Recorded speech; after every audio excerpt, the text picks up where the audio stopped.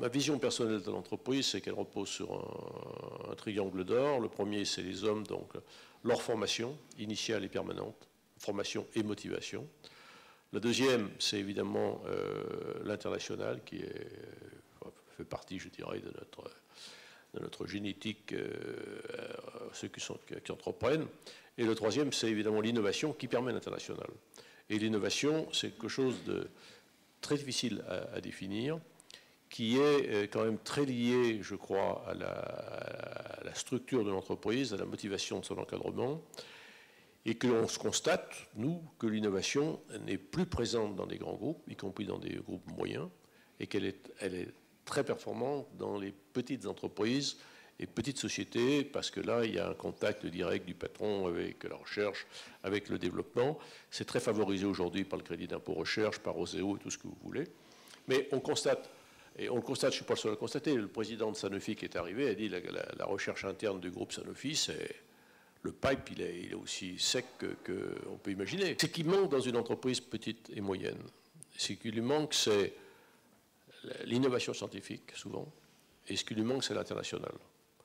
Vous sortez aujourd'hui des écoles, des, chiens à haut pédigré, euh, beaux, bien lustrés, avec de, beaux poils et qui coûtent très cher.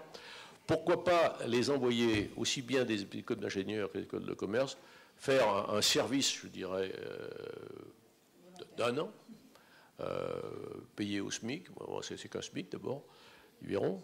Et deuxièmement, travailler pour apporter ce qu'ils ont appris de leur école, mais en fait de notre pays, hein, qui leur a généralement offert ces études en grande partie, et le rendre au niveau, au service d'une PME, connaître une PME qui a peur. Il y a beaucoup de patrons qui ont peur de l'innovation scientifique, qui ont peur de l'international. Vous formez des tas de jeunes gens hein, qui vont faire des, carrières brillantes, eh bien, ils, ne connaissent assez peu la vie.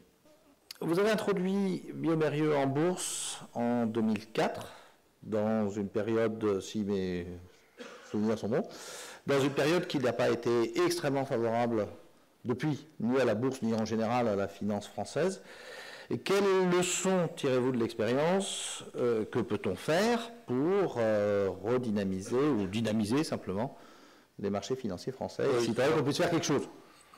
Je vous dirais franchement que d'ailleurs, euh, j'ai veillé, même quand j'étais président, à ne pas trop apparaître aux réunions d'analyse financiers, parce que je suis relativement peu compatible avec eux.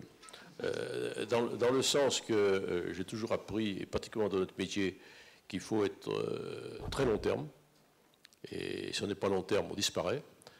Et que ces jeunes gens sont encore une fois très brillants, encore ils sortent des meilleurs chenilles, mais ils veulent du court terme, ils veulent des grandes déclarations, et il faut toujours avoir un air bronzé, sportif, pour parler et annoncer des choses qu'on tient ou qu'on ne tient pas.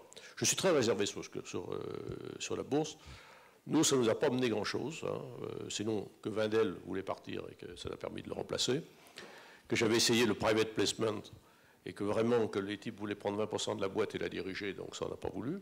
Donc on a considéré que le moindre mal c'était la bourse, mais que la bourse n'apporte pas grand-chose.